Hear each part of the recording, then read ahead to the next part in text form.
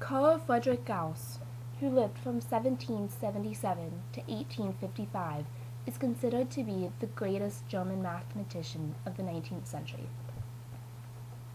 Gauss was born in Brunswick, Germany on April 30, 1777, to poor working-class parents.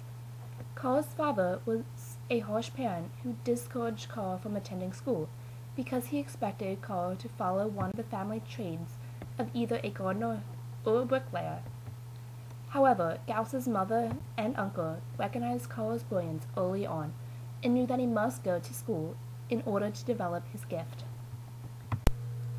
One day, while in math class at the age of 10, Gauss showed his skills as a math genius when the teacher gave the assignment to write down all the whole numbers from 1 to 100 and add up the sum. When each student finished, he was to bring his slate forward and place it on the teacher's desk. Since this was a beginner's math class, the teacher expected the class to take a long time to finish this problem.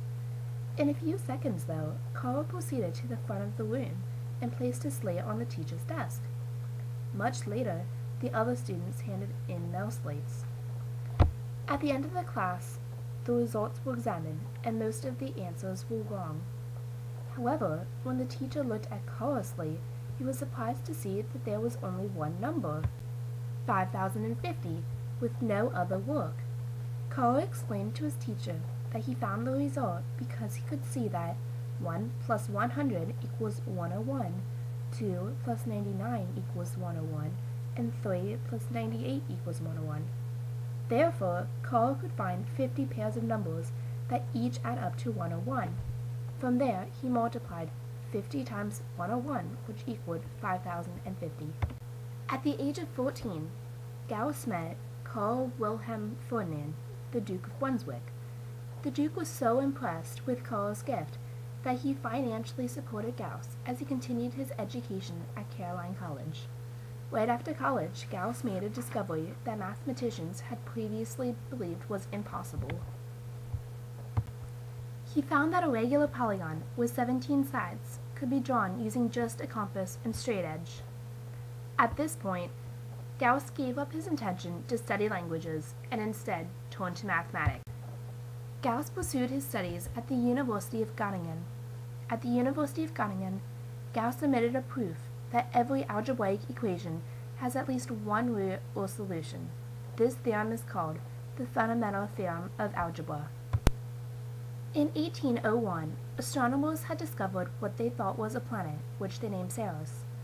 However, the astronomers lost this planet. Their observations of Ceres were communicated to Gauss, and he was able to calculate Ceres' exact position so it could easily be rediscovered. Gauss also worked on a new method for determining the orbits of new asteroids. Eventually, Gauss's discoveries of astronomy led to his appointment as a professor of mathematics and the director of the observatory at Göttingen. Gauss remained in this position until he died on February 23, 1855. Carl Friedrich Gauss, though he devoted his life to mathematics, kept his ideas, problems, and solutions in private diaries. He refused to publish theories that were not finished and perfect. Still, he is considered to be one of the three greatest mathematicians who ever lived.